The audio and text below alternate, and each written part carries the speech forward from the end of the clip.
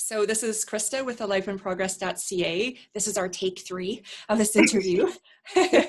I'm here with my friend Emma Scheib of simpleslowlovely.com. We met online some couple years-ish ago.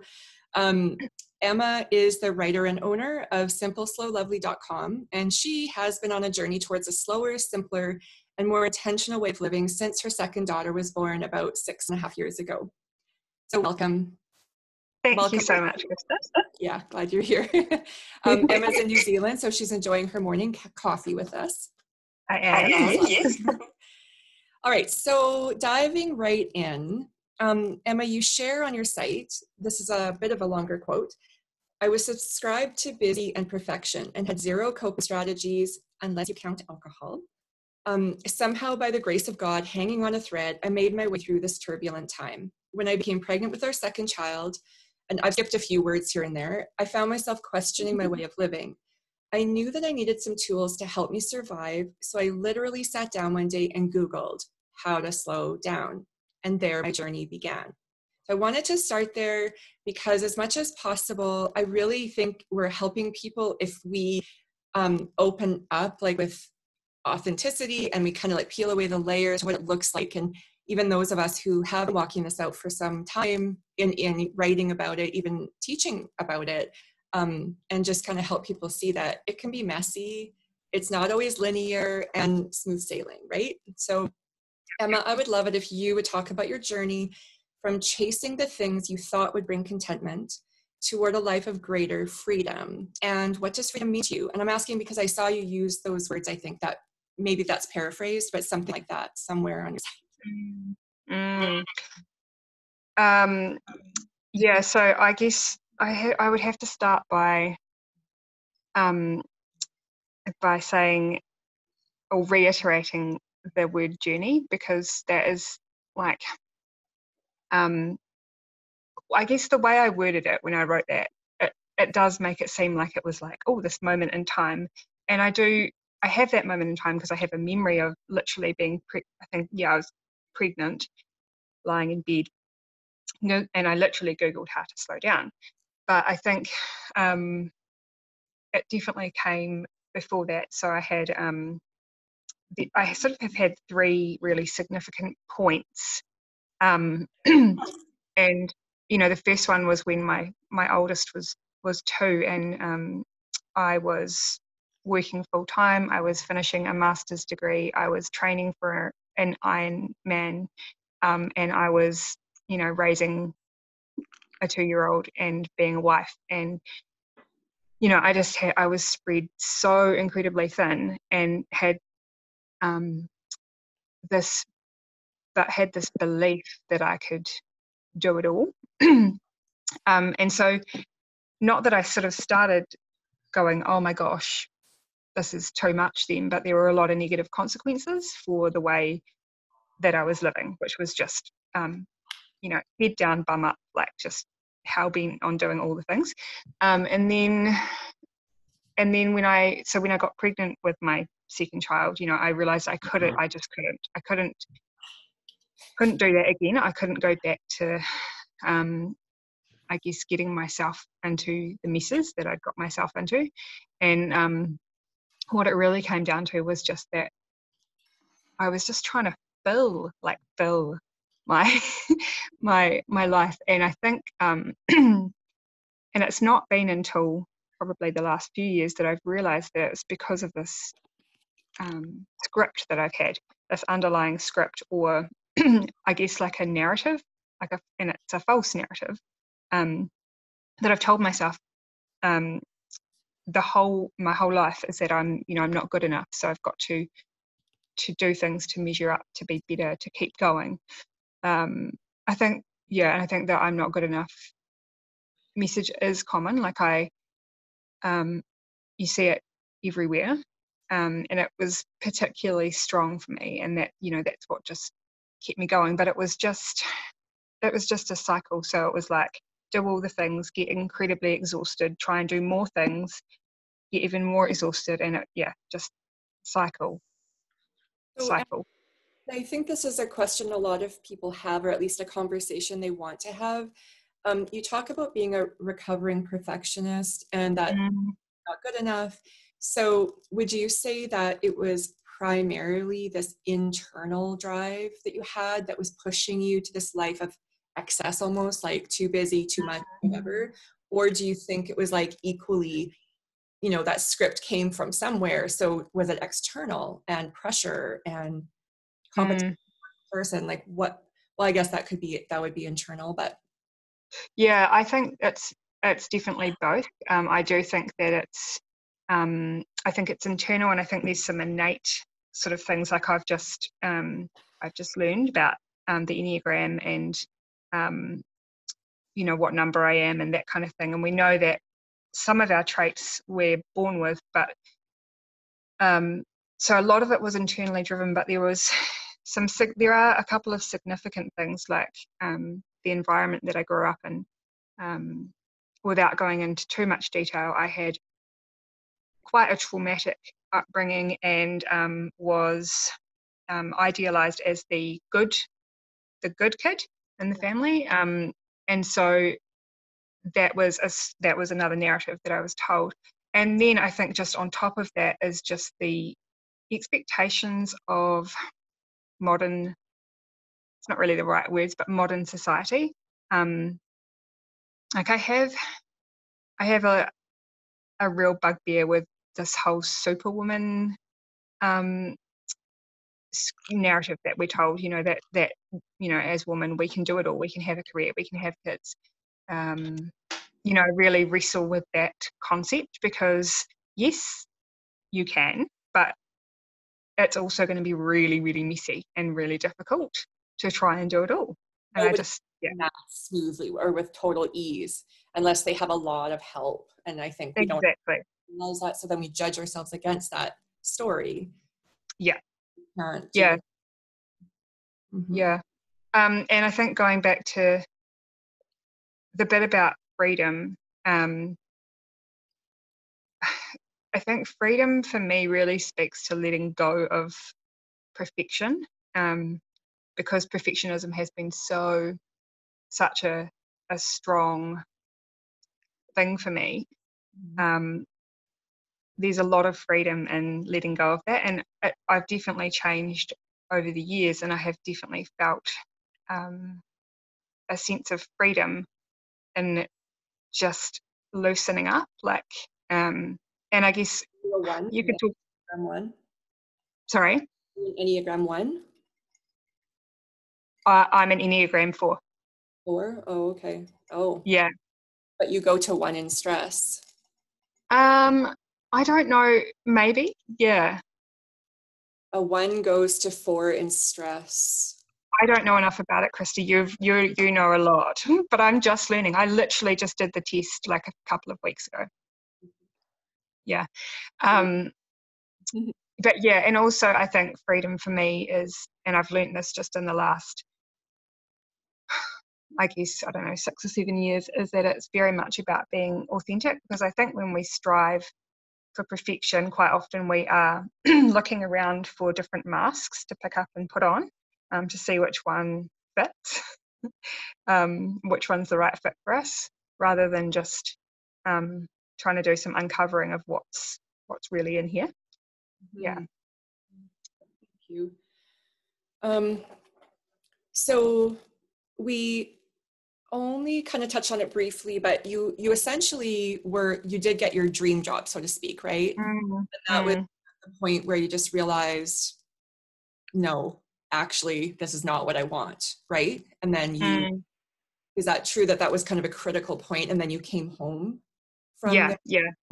So that was like my third kind of crisis point in in this whole journey and like the journey's obviously still going um, but that was um, my, i had taken on this this dream job like it was amazing. Um, I, you i think i don't know whether you know krista but i'm really into um, well i did my master's degree in criminal psychology so that's kind of um, and i'm really into true crime and all that kind of thing um, but i got a job as an intelligence analyst with the new zealand police um, and it was just an amazing, amazing job. Um, but I was working full time, and I think I started the job when our youngest was 18, just under two. And it was never my plan to go back full time, but because this job was like this carrot dangling in front of me, um, and I thought, let's just see if we can make it work. Um, and so I got, you know, I gave it a good go. I think I was there for three years and just ended up being completely burnt out. Like, absolutely, yeah. Well, so because what's really intriguing me, and I um, I know we want to get to all of our questions. Well, actually, the next question is even about self awareness, and the women here joining me from the Brave and Beautiful membership know how important I see this this level of self awareness, understanding our wiring, and how it we walk it out in our life in ways and you know unconscious ways and patterned ways and then when we want that freedom right when we start moving towards mm-hmm. freedom um, and one thing that in my home and just my own brain that I think a lot about is how so many of us are wired highly sensitive. We're wired, we may, there may have been trauma or something like challenging in our other, in our childhood, compounding that. Um, then if we throw on a perfectionist nature or something like that, it's like we've got all these you know, weights we're carrying around from a really young age. And we are then measured up against, or we measure ourselves up against this um, standard, this story that has been created about what a good girl looks like, or what a successful human looks like, or whatever. And if we can't quite keep up, um, then we feel like a failure or not good enough. So, can you guys see me okay when I'm talking? Yeah, you just flicked off for a second, but you've come back now. So, um, and and I actually want to spend not so much in this interview, but just in the next year to come, really exploring this more and writing and and chatting with people, because I think it's a it's dangerous, and I think it's actually potentially tied to our mental health um, mm. struggles. Because um, when we have really low self worth, we think we're not good enough. That like that causes a lot of harm, and and and i really see because this is so personal to me and my family like i really see that i want to help um, change the idea that like really really dig in and change this idea that wholeness and happiness and health like looks only this one prescribed way and it's about the stuff and the degrees and the hustle mm-hmm. and the acquisition and like some of us don't want that we're not cut out for it and we're gifted right? Like we're, we are gifted. We tend to be more sensitive, prone to anxiety, need a lot more solitude, but like we're doing our work. we have gifts to bring to mm. this world. So, yeah. want to say to that?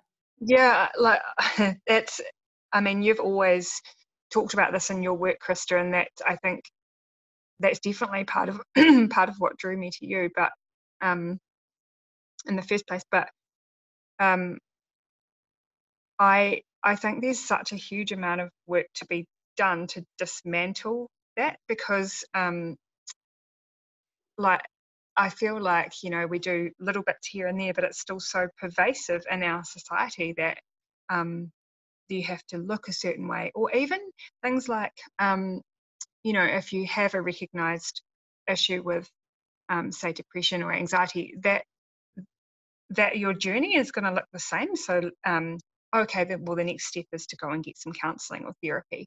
Um, when that might not be, you know, like it's just there's this linear thing that's put up in front of us, but it's not like that. I think I see it more as a circle where you go one step round and a few steps back, and you, know, you hop over here for a bit, and then you, you know.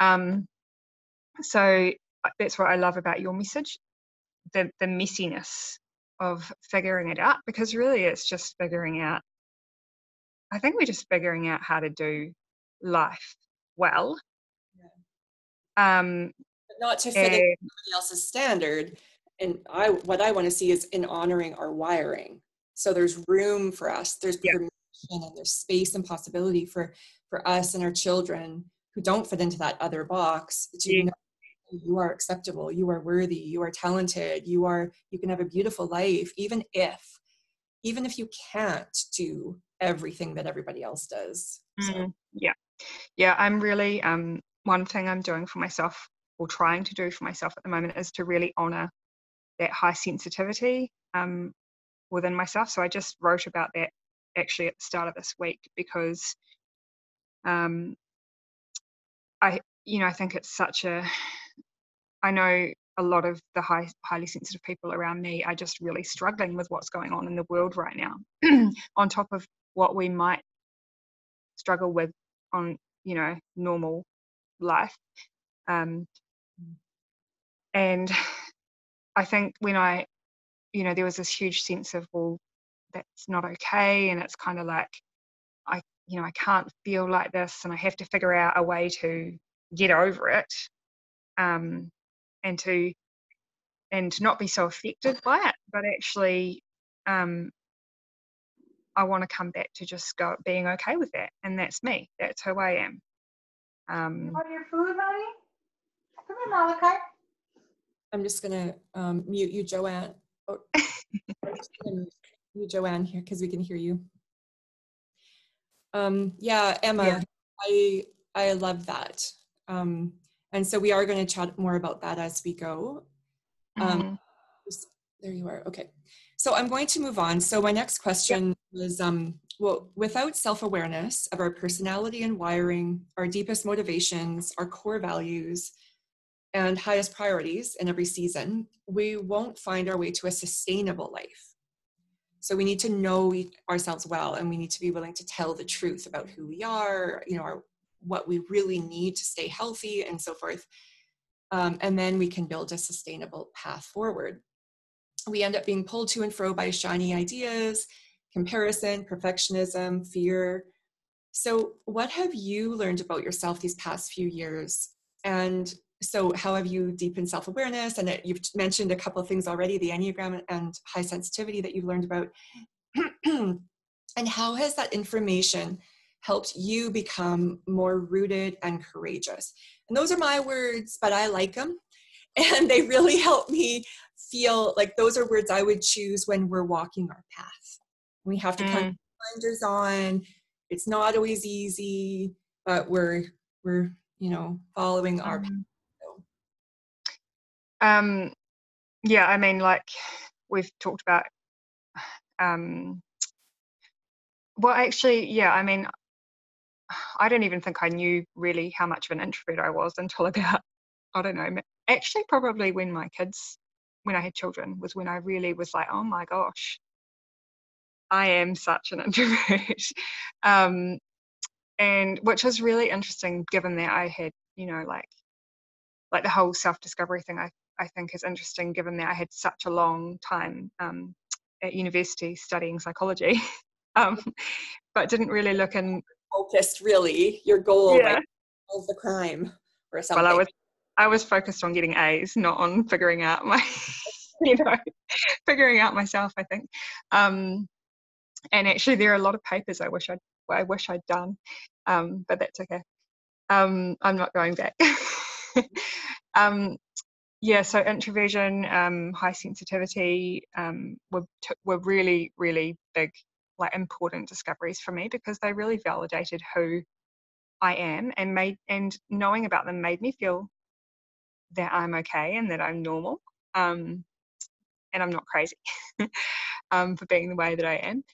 Uh, but I think one thing that I'm really working through at the moment um, is this idea that I'm a paradox. So I'm allowed to be both and, like I can be, um, just trying to think of an example.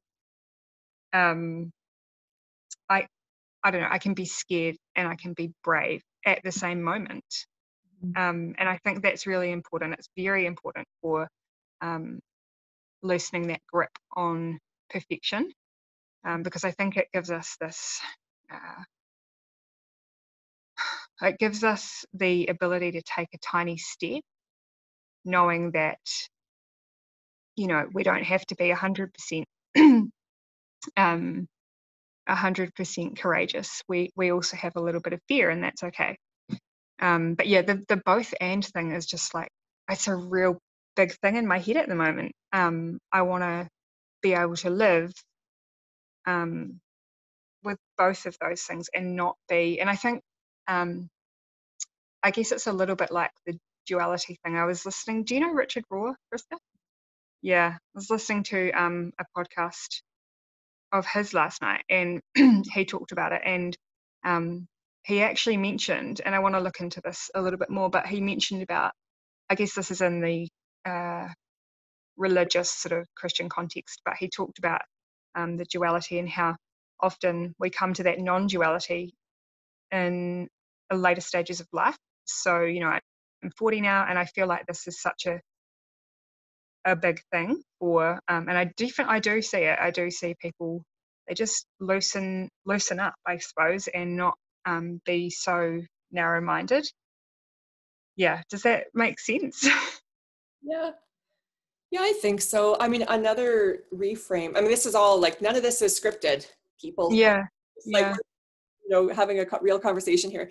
But yeah, coming in kind of from another angle, yeah, it makes me think of um, just how by the time like my husband and I, I said this on a different recent interview, but I when we were in New Orleans last summer in the midst of heartache and uncertainty, and we were just people watching, and we just said, you know, we agreed that anybody we see who looks like they're at least 60, they've gone through. Like Mhm. just, it just is. Like you can't get through this world without being a little beat up and scarred by the time you're about 60 and some of us get it a lot you know healthy doses earlier. But um but for me i i feel like that's probably some of the mid midlife loosening right? Is that all the rules and all the fanciful ideas and the you know um the think feeling that we're in more in control of life than we really are and things like that well we kind of learn the truth by the time we're about 40, Yeah. 60 that oh it's not quite so neat and tidy and Yeah. have more fun and experience joy in the middle of this mess if i loosen my grip so Yeah. Yeah. Like, um, I think another, yeah, because another concept is just this idea that, um, that we're not in control, um, and that, and that life just happens. You know, life happens, and we have to just, to an extent, we really just have to learn how to, uh, be, how to, I guess, how to cope. I don't really want to use that word cope, but um, one thing for me at the moment is that I'm trying to, um, you know, learn a bit more resiliency to because this, you know, that's right. I've just this is just life. this is just, you know, this is what happens. Um, global pandemics happen, you know, um, and you and and we never know. We never know what's going to happen next. Yeah. yeah I, I say rooted so i talk about being rooted and resilient and Yeah. um, that's how i because feeling rooted means sometimes i really am beat up and weary but i know i'm okay because i'm really deeply rooted Yeah. Um, and that allows me time to rest um, you know when the roots are doing their thing you know replenishing so even if this part of me looks a mess and you know i can't accomplish much in the outward world good stuff is happening down below and then i come on back into activity or you know meaningful work and things like that so for me that kind of picture in my brain has been really helpful I like that. And that's kind of like, you know, the season that you're going through. So a season that a tree goes through, well, it's always going to be have strong roots in the ground, no matter what it looks like, whether its leaves are falling off or um, changing color, you know. Um, I love that. I love that picture and that Yeah. idea. and i have this big old craggy tree right out front that i just adore and it just gives me a daily reminder Yeah. Yeah. Um, well, was there anything else you wanted to share about that, or were we done? Um, about just learning about yourself, this inf- new information on self awareness and how you're using that or applying it. Was there anything else that you wanted to share? Um, And by I the way, forgot to even announce our topic. So our topic is cultivating calm, and I said imperfectly on purpose, as al- mm, because I really do want to be just focusing on the fact that not one of us do this without getting our hands dirty, our hearts mm, sometimes sore and raw, and having to do some messy work. So we are talking cultivating calm, yeah. But not maybe in ways that people would think um, necessarily. So I hope this will be a, a really interesting conversation for people. Okay, but I did cut you off, and you were going to share um, I think one more thing. Oh, I was just going to say, um, in respect to the topic, yeah, um, the calm. I think I started my journey, say seven years ago, whatever. Um, you know, seeking calm because I felt like things were so chaotic and like I had so many balls in the air. Um, but I and I probably spent the first few years really chasing the calm, which is just swapping swapping things really, um, which I think was first, you know, I knew that I needed calm, which was a good thing, and I had to go through that part of the journey. But now I am again loosening my grip and going, well, what does calm actually look like to me? Because it won't look the same as what it looks like for somebody else. Mm. Um, so it's um, oh, it's just I like it. I like the journey. I like, yeah, I get excited. You know, understanding that it's just all growth, isn't it? It's just um, it's a journey and it's fun sometimes. yeah, I think so too. I think, well, you you touched on this, but I really think uh, three keys or pillars of my work are self-awareness, self-compassion, and then learning to take imperfect action towards what we say. Mm-hmm. And if we stay grounded in self-compassion, then yes, I think it is fun because we're not in constant judgment. Oh, you should already know this. Why haven't you figured this out? So and so is doing this thing and you're not, like the inner critic yapping and all the negativity mm-hmm. that can happen. But if we stay in a place of possibility, of you know, um, a growth mindset, um, yeah, in a place of curiosity more than judgment, and then then I think the journey actually is kind of exciting. Yeah, yeah. I, uh, sometimes it doesn't feel that way um, but i just think um, i just think i actually think it's just the older i get the more i i feel like i'm en- enjoying that part you know this this self discovery self development yeah good good then you've got lots of hopefully you've got plenty of years ahead of you for that yeah um, okay, I'm changing order. I'm actually going to jump down where we were already talking about perfectionism. So I want to jump over to the final or a question later down, just in case you're tracking on your sheet. Yeah. As a recovering perfectionist myself, and a human who has, you know, from a young age, I lived with chronic pain. And I've needed to work really, really hard and stubbornly for my mental and physical health. So um, have certain health challenges and also had a hard time walking, lots of pain. And then I had, I was suicidal as a teenager and I've had bouts of anxiety, including suicidality um, later in life as well. So I have, am somebody who really truly, um, I didn't know until, I don't know, maybe I'm not sure when I really discovered this, but I discovered that not everybody has to choose to live. Not everybody actually has to make a conscious decision every day. Um, and and some of my friends, you know, when I had good friends, they would tell me that and, and in a supportive way. And I realized, oh, okay, yeah, like this has been hard work. Um, I don't feel right now like I'm in. I really feel like these past kind of eight years or so, I have well maybe maybe i'm being too generous but these past years anyways whatever that is i feel like i turned a corner. And i'm no longer fighting to live every day which isn't to say that life isn't challenging. Um, but all of this is kind of tied to that earlier conversation that for me from a really young age i knew i couldn't keep up. Like mm. i i was an honor student. I had i didn't even realize back then how bad my anxiety was as a young person um, I started doing drugs and drinking really young. And it's not because I enjoyed them, it's because I needed something to help me survive, calm the anxiety so I could just do life. And um, and so we all come at this idea of simplicity. Um, I, I'm assuming we're looking for some calm, right? Like we want to slow down, we want maybe more time with our primary relationships, maybe to tend to our health. But I really do want to talk about this idea that a lot of us really have real things in our life or our wiring, our bodies, that mean we need acknowledgement and, and permission to say, I'm not choosing that path. I'm going to thrive over here. And I'm not lesser than.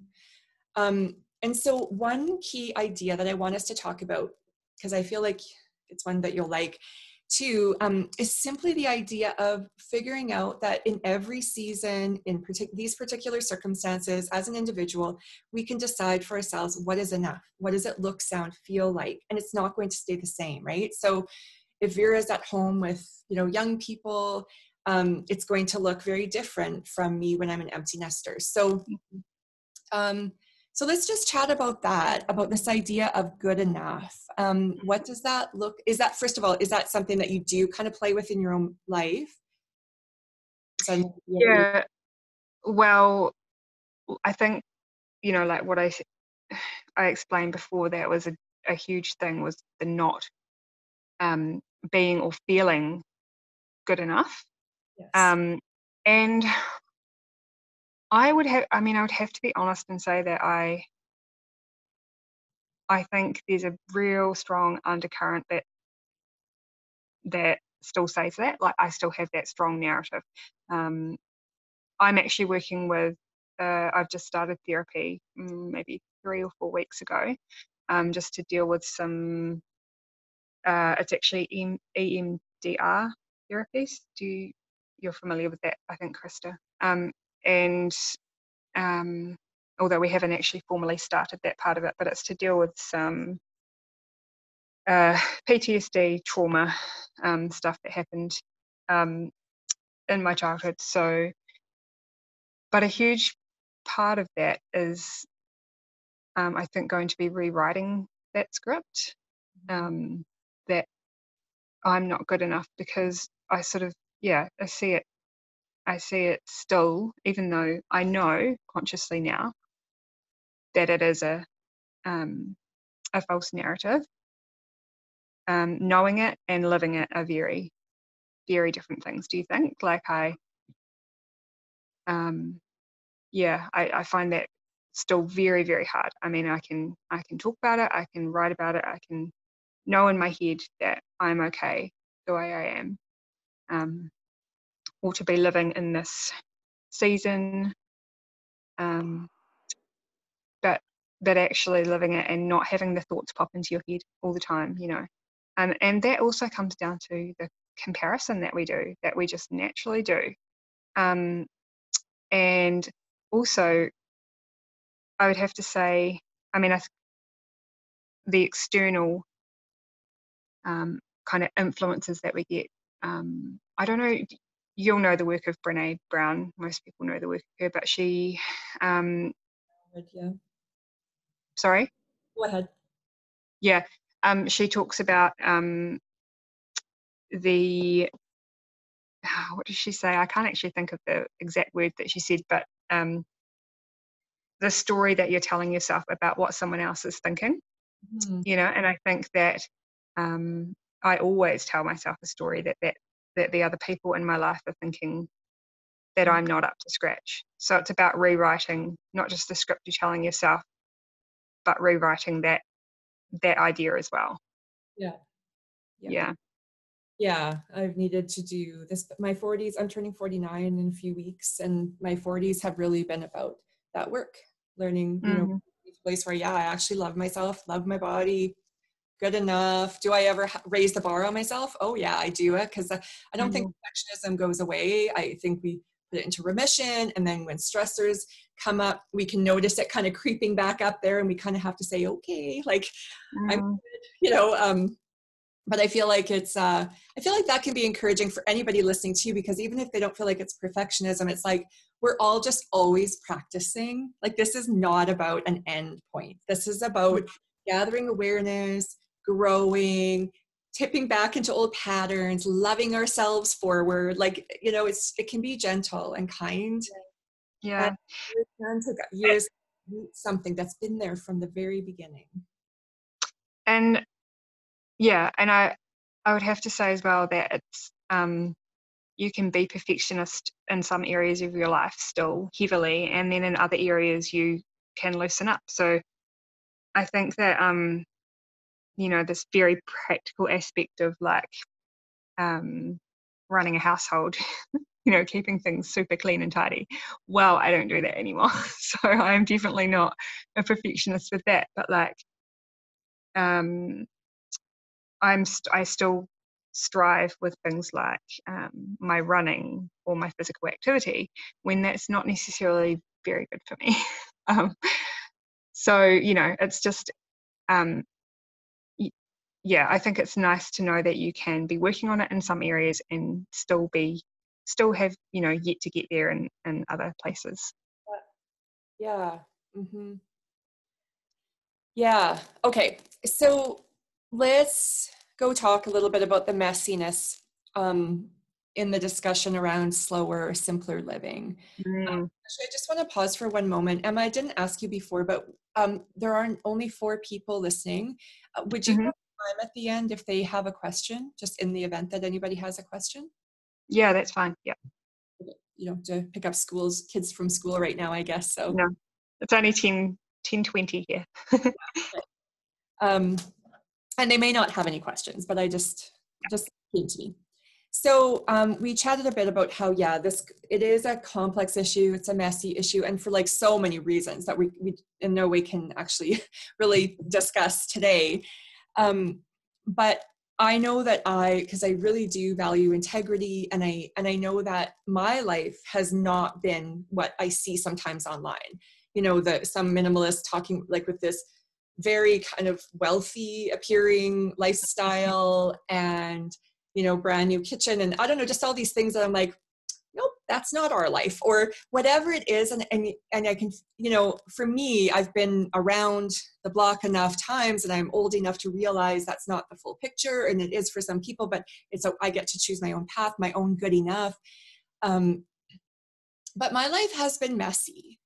My life has been beautiful in so, so many ways, but lots of struggle, lots of losing people, lots of heartache, like, and challenges, and, you know, and, um, so I am driven to a slower, simpler life, or, or, or really working at this idea of cultivating calm and, and really where does calm come from? Mm. But really for me it's been about learning to find that calm in the middle of the storm not when life is you know you get a three month reprieve it's really about showing up fully to life um, in the middle of the fridge breaking your child is sick oh my god somebody left their shoes at home and i have to drive them to school and you have a meeting at like you know whatever it is right or um, um, here i talk about like single moms you know, working several jobs to take care of their babies. Could be somebody living in an inner city somewhere without access to, you know, resources, without, you know, and uh, there's some kind of like injustice, oppression that prevents them from getting a good job so that they can, you know, move out of this hustly lifestyle. Um, I also think of friends though who have really kind of more demanding jobs and they don't want to give up that job. You know, so then the solution isn't for them to come home necessarily, but it is maybe to know I deserve help and then getting mm. What you need.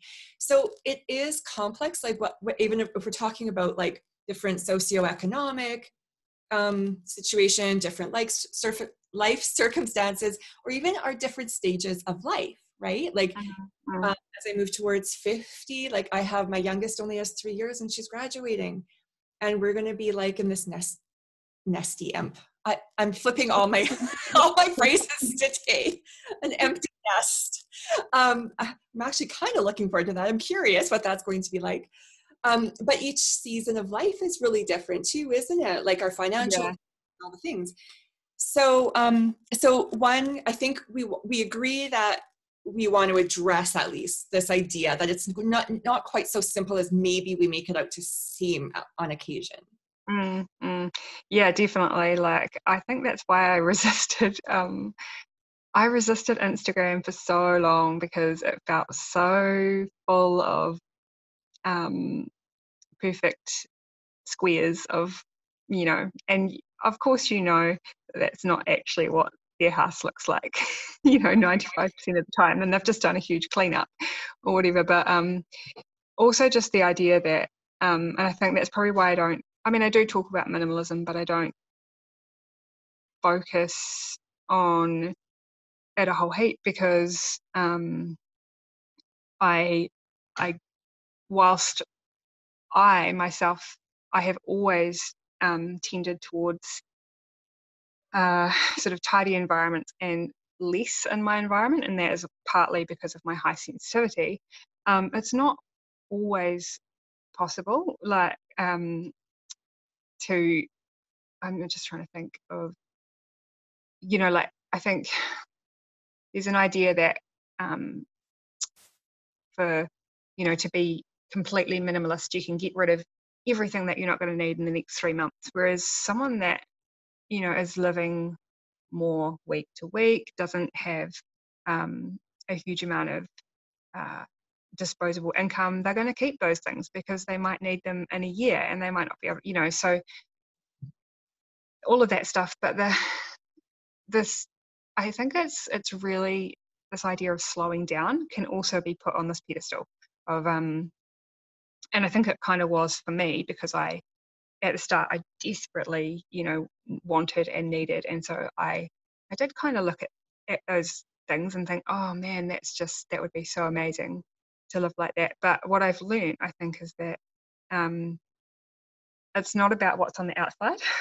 it's not about whether you can um, have a cleaner in or whether you can reduce your hours to only 30 hours a week. It's actually about what's in here because what's in here you're always going to have with you. So it's about learning to cultivate that calm place that you can go to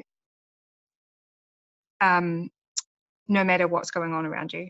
Um, so actually, it's kind of similar to um, in the therapy, the EMDR therapy, they talk about um, you one of the things that they get you to do is to figure out a safe space where you can go to. And I feel like that's what I want to do with my slow lifestyle is I think it's a little bit similar to your rooted, your idea of being rooted, but it's that um, that calm space that's right in here um, that you can withdraw back into.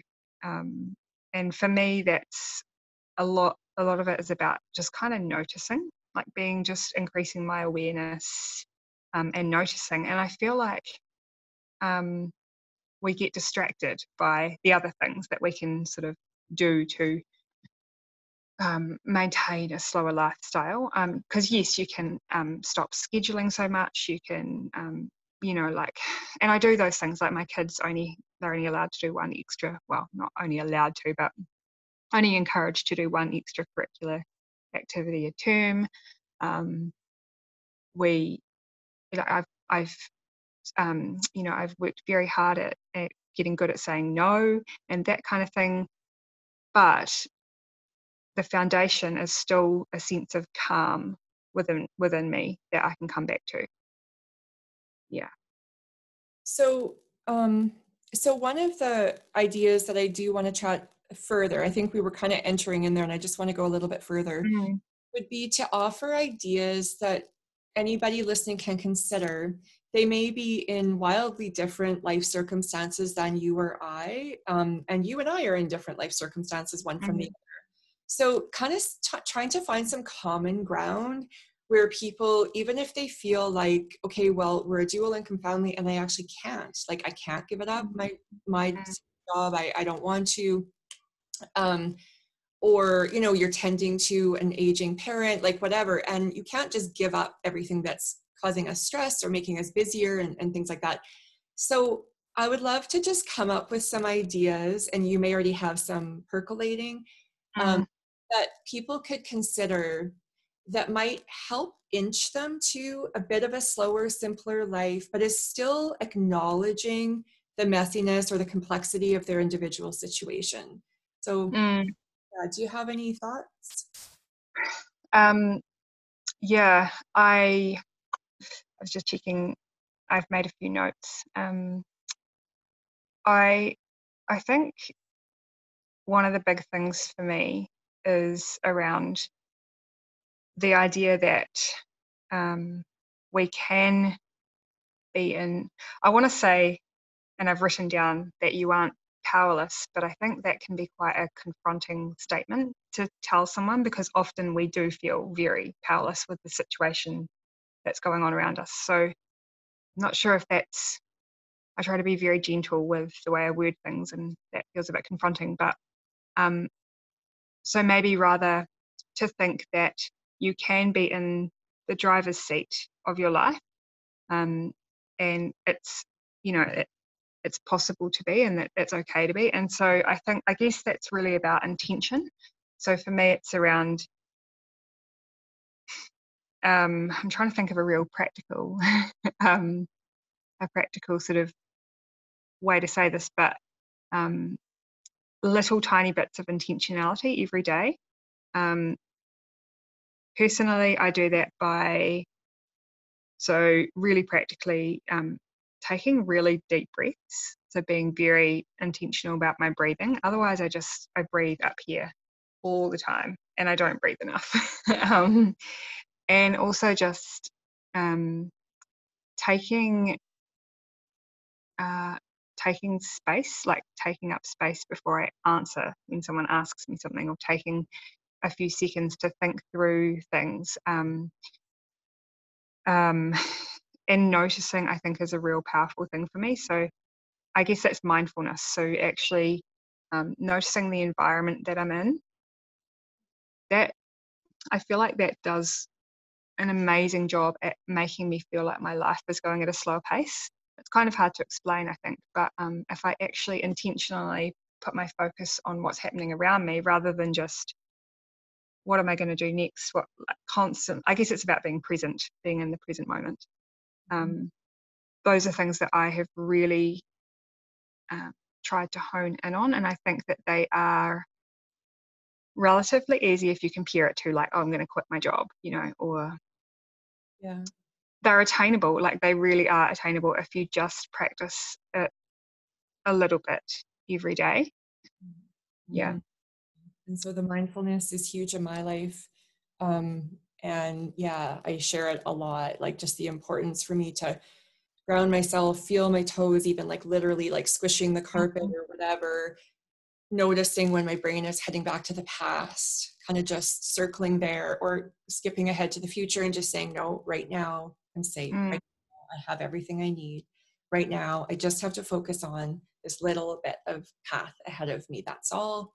Um, um, and the idea that I brought up earlier of even just saying, you know, this is good enough. I use that a lot so what I deem good enough in this like month is different from three months ago, one year ago. Like, um, and of course that's going to happen when our world is in upheaval and there's lots going on. And, and I think actually being rooted is helpful because if you think of those deep roots that hold you fast, it's like even if you're heaving a bit and you're having to like figure your way, you're okay. Like I, yeah. I have a confidence that I'm okay um, because and I can be more flexible because my roots are fast. Mm-hmm. So that's really helpful for me. Um, another thing that I thought of is I really find that um, so I'm a huge fan of dawn and dusk rituals or morning evening routine mm. where they're really simple. So they're not these complicated things. They could be accomplished in 20 minutes max. You could take them with you. Your child's in the hospital, you can do it in the hospital um, you're on the road, you can take it on the road. Like it's really low hanging fruit, but it really helps us begin and end our days with intention. And I do think that we can do this whether you know we have enough money or we're in lack, if life is an upheaval or we're in relative ease. Um, you know, if you're just flat out not safe in the world, you're not going to be thinking about a morning routine. But so we're we're assuming basic mm. relative safety um, and but i find that you know because for me they they compri- they're comp- comprised of four to five small little habits that are help set the tone for my day or end it well and even if i did nothing else if my life was just and you know really ch- hard the whole day but i take those few minutes in the beginning and i take those few minutes in the end it really calms me and what i noticed this past year because i have some really good rhythms and routines built into my life is I really felt like they anchored me. So I couldn't control a car accident. I couldn't control all these other things in my life. Couldn't control a world global pandemic. But what could I control? These tiny little habits that I didn't have to think too hard about because they were so ingrained in me um, and they just they were powerful enough because of what i choose to put in there that they make me feel even a sense of agency and that alone yes. yeah so, yeah I love that, and I actually I think the sense of agency is better than this whole idea of having power in your life. Um, but I love that. I love. I, I like honestly, I'm not. I do not at the moment have a good morning or evening routine. Um, you know, I can blame it on the pandemic, but really it's just me, me being slack. Um, but pre-pandemic, I had such a lovely um, routine, which I'd really like to get back to, um, which was to get up and and and this is like not re- this doesn't it's not much at all, but it was just to read first thing in the morning, like actually read a book. So sit and read with my coffee, um, instead of into bed, right? Pardon? Climbed back into bed for your reading. Yeah. Um, yeah, most of the time depends. It kind of depends what season it is, um, and um, you know, I often just like to read in front of my kids as well, um, just to, you know, this is how I'm starting my day. It's that whole idea of role modeling for them um, while they're sitting there watching TV or something. um, but it was it made such a huge difference instead of going onto my phone or onto the laptop um, to check emails or you know and it's real simple it's so simple and it makes such a huge difference and i need to get back to it i haven't quite yet um, but the other thing that i found really powerful um, when you're thinking that you've got you know chaotic busy life um, something that i found really powerful to do um, last year and I think I went into this year doing it, but again, it's fallen away, um, was just to take a few moments writing at the end of my night, like just writing. I would write three things that had happened during that day that I've noticed. So, not even necessarily gratefulness, because I find that I found that a bit hard sometimes. Um, so, loosening up on the idea of a, a gratitude journal, but rather just what did I notice today? What, what can I see that was in my day? Um, and then three things practically that I need to do the next day. Mm. Um, and that again, it just made me feel um, like I like I'd settled within myself, and that I, you know, I, am pretty sure I would sleep easier, um, go to school sleep easier because I feel like I've kind of booking bookended my day, um, and attended to myself just a tiny bit. Yeah, um, but that's not much, you know. And I I have I have ideas of amazing morning routines, but it is hard. It is hard with young kids. Like, I mean, it's easier, it's a little bit easier now that my daughter's six and a half, but I, I really struggle. Like, I feel, I mean, I was so hard when I had really little, you know, really little girls and thinking, I really want my morning routine, but how can I, you know, I just wanted to stay in bed when I've been up three mm. times in the night. So, yeah um, when I started my business, I did um, about 80% of my work in holistic or functional nutrition. And, um, and we still, we talked about morning routines and lifestyle changes, but a lot of my clients had ch- young children. And so I said, you know what, just postpone your morning routine, get them off to school, do whatever, get them playing, and then sit down. It's okay that it's not first thing in the morning because exactly. that early in the day, you're saying, hey, I matter this really helps me show up to, to life more fully and on on purpose and yeah. so it's okay and that would be another example right of being more flexible and loosening our grip and not mm. let perfection kind of tell us well it's all this way or, or the highway it's all or nothing yeah like it's lovely to think oh you know an hour morning routine where i do this and then i do this and then i do this but actually mine is like okay i might read for 10 minutes then I'm scrambling to get lunches and kids out the door. And then I, once I've dropped them at school, then I get to go for my lovely run with my dog, which is a huge part of my um, looking after myself. And that does come into my morning routine, but it's just, it looks a bit different, you know, than what it would.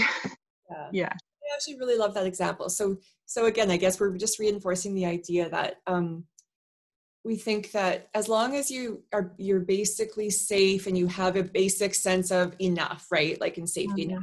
in danger in crises whatever um, that you could look for ways pretty much any of us could look for tiny tiny little pockets of time um, maybe to pause take a few deeper breaths check in with ourselves maybe begin a, a really easy morning evening routine maybe some structure and you know a bit of structure um, helps you feel more anchored. Like that i that i think for me I, I love looking for ways that at least for more of us it's like it's not about one prescriptive way of being in the world or living. Yeah can or cannot control depending on the circumstance but there are always these other things we can kind of carry with us into different mm-hmm. of life and the more we practice or water some of them they put down roots and then they really help keep us mm-hmm. I think, when life is really hard. So, our final question, Emma. Um, uh, so, we're talking again about cultivating calm. And um, in the Brave and Beautiful membership this month, the focus is cultivating calm. And, um, but it may, it, it's not necessarily what some people were expecting and that um, really i'm not at all talking about trying to remove stress find ways of living in a bubble, I'm talking a lot about moving towards the things that we're excited about, the values that are the strongest for us, um, our priorities for the season of life. And when we move towards these things, we we will encounter stress, anxiety, and discomfort. And I think this is a, a, really important idea. Like, this is how I live my life. I believe this is necessary. And I think that because in our world we have a tendency to almost compartmentalize ideas or information it's like sometimes we're not telling the full truth right so we're talking about stress mm-hmm. is bad causes inflammation it's not good for this. So then ah, all stress is bad. When mm-hmm. the reality is loving somebody sharing life with a partner is going to involve stress. Having children is going to involve stress. Um, just being alive in this world is going to encounter stress.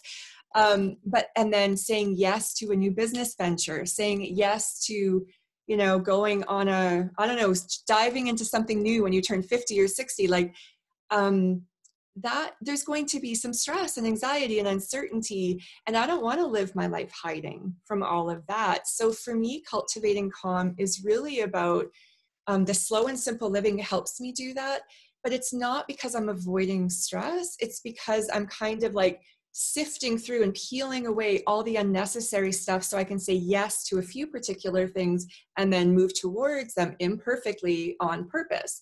Um, and that is, and it means understanding that stress isn't going to kill me. I'm not doing life wrong because it's stressful. Yeah. Um, I, I really think, I don't, for me, there's, and I think for a lot of people, there's a there's this huge resistance to um I mean, because we hear all the time that stress is so bad for us. And then, so there's a huge resistance to things that are going to cause stress when they come up. Like, it's just, it's such a, I don't know, a negative thing. And, and we seem to be wired to, to fix. Like, we're just, I mean, not everybody, but, um, you know, or we have to fix this issue that's that's come up rather than just sitting with it because um, like we said you know you can't get through 60 years you can't get through 80 years without having huge challenges and things happen to you because that is what life is so i think it's more learning to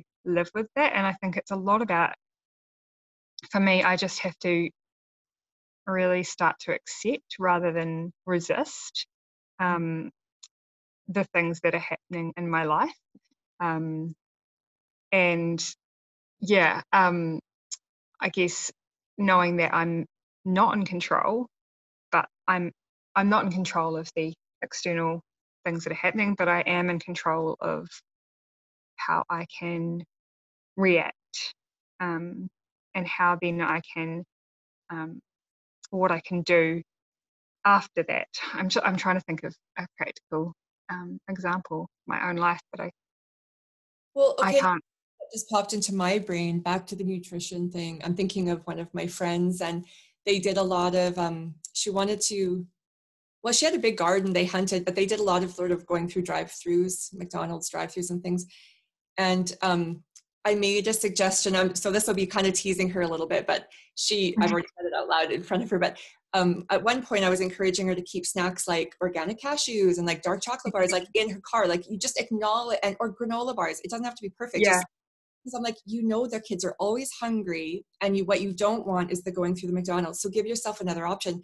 And I remember it coming out of her mouth, but that's not. It's like that's not good enough because she wanted to go from zero from oh yeah over to this other idealized thing, and I was like, okay, but that's not going to happen. You're going to quit in one day. yeah.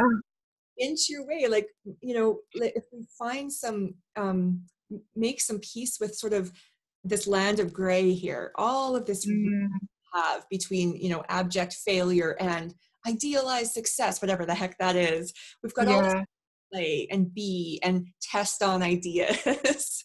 it's like our whole life is grey. I don't think, you know, nothing's black and white. And we um, I think that's where we live like 99% of the time is in this area where we're just moving we're just slowly moving around in this in this kind of swampiness of the messiness of of life and yes I think it's learning to accept what's happening but then taking tiny steps with that acceptance in mind I guess, to progress yourself.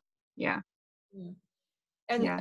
just a final idea I'll share because I actually think maybe I it would be helpful to people um, would be that I really do encourage everybody, if you haven't done this already, to identify your top three to five values for this season of life. Like it may not be for all of life, it may be for this year, this chunk of years, whatever.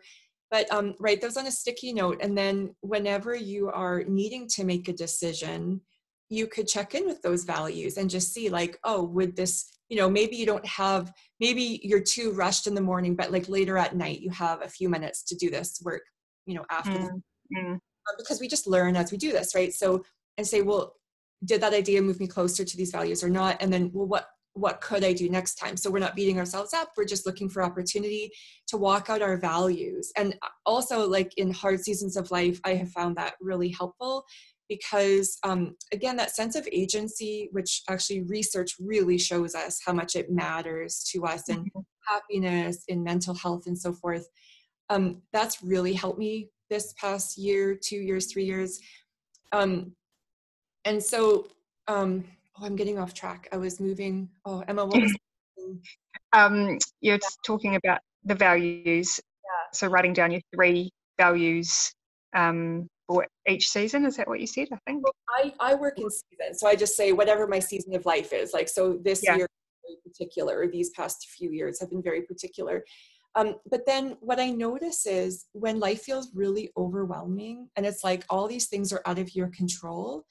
Um, what I what I noticed was one of my one of my um my i call them mind body spirit intentions for the year is um integrity and just always this is it carries over year to year and what I saw was I could always, in integrity, walk out my values no matter what was happening. Mm-hmm. No matter mm-hmm. I, I'm not saying I was at my healthiest. I'm not saying I wasn't scared out of my mind. I'm not saying like life wasn't really, really painful, but in, in no moment was I forced to move away from my values.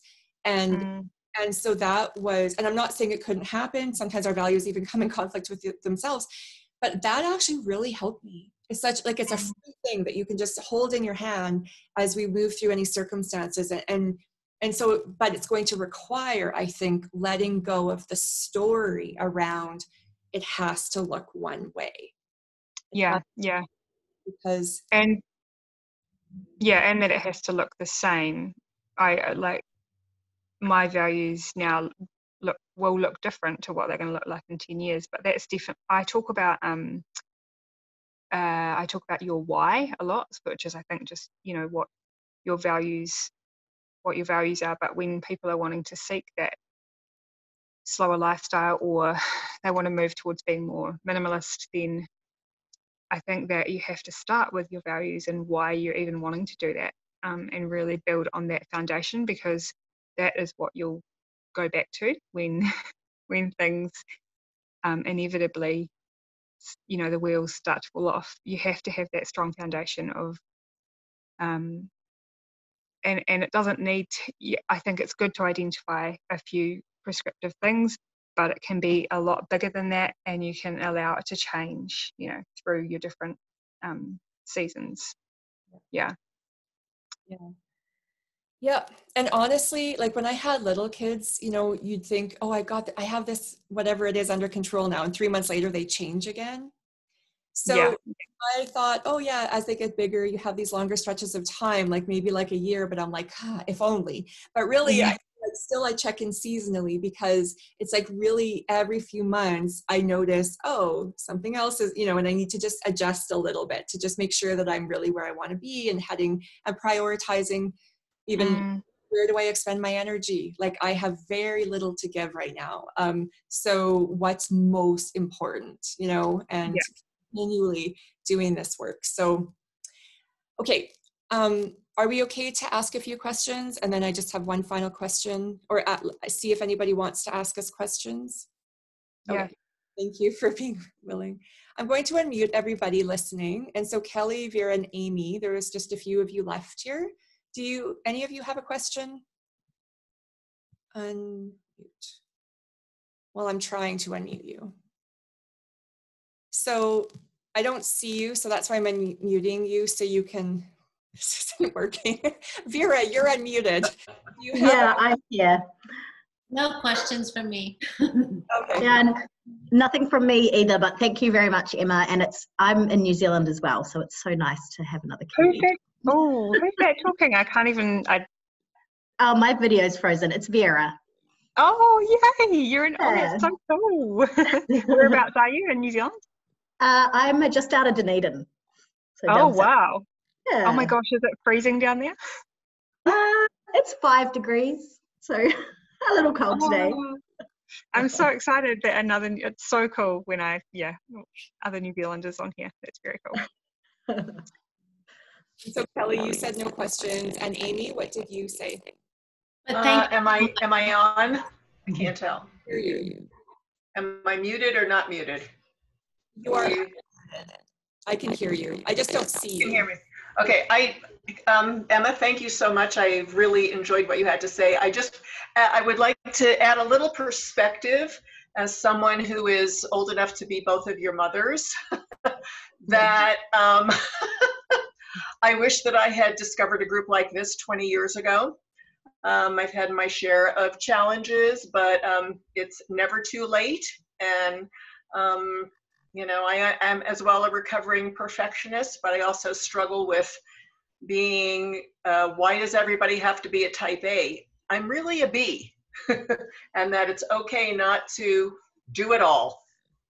So that's that's what I've got to say. Yeah, thanks, Amy. Thank you. That's really cool. All right, well, thank you so much, Emma. So you can just hold on and I'll end our recording and we'll say goodbye to everybody else. And before we do, you, um, my question for you is what's one final thought, bit of wisdom, or a word of encouragement you like you would like to offer everybody listening at a later date if they're seeking a slower, simpler, lovelier life? That's a mouthful.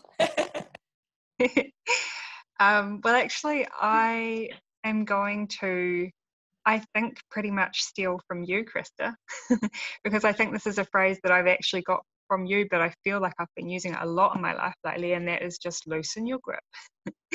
um, on you know, loosen, yeah, just loosen. I guess it speaks to the perfectionism thing, but yeah, loosen your grip. I, am pretty sure that's you that, have, that has said that, but I, yeah, that's that's my that's it. I'm an Enneagram one perfectionism and not feeling good enough is a driving thing in my life, um, or has, you know, used to be in particular. And again, one moves to the four, especially in times of stress. And I've spent a lot, a whole lot of time over there in four land, in especially my early 20s, or my 20s in general, probably. so, where can people find you? What's your favorite place to hang out? Um, so I am, I have a website, so that's just simple, slow, lovely dot com, um, and I do send emails um, once a week ish. I like to keep it all ish, um, Monday ish. Um, and I'm probably most active on Facebook, so you can find me there, but I'm also on Instagram as well. Um, I try and hang out there. Those are the three main places I don't do. I don't do Twitter, I don't do anything else like that. Try and keep it fairly simple. Thank you. All right. Thanks.